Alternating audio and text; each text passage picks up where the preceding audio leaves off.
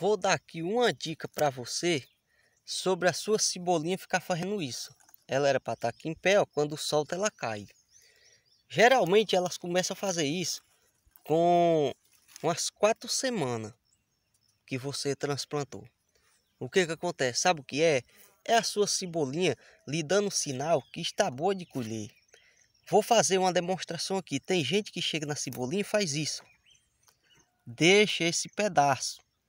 Aí sua cebola começa a morrer. Não, tô tirando certinho, ela tá morrendo. Porque quando você vem molhando, a água entra aqui dentro. Aí vai vir aqui pro tronco, pro caule dela. O que acontece? Com a quintura da terra e do, do tempo mesmo, isso aqui vai apodrecendo, vai apodrecer aqui e vai matar sua cebolinha.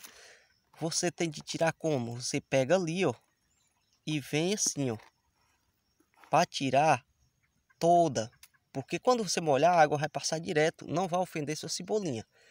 E ela ficar drobando, é porque ela tá dando um sinal que é para você fazer uma colheita, para dar uma limpeza. Gostou? Me segue para mais dicas.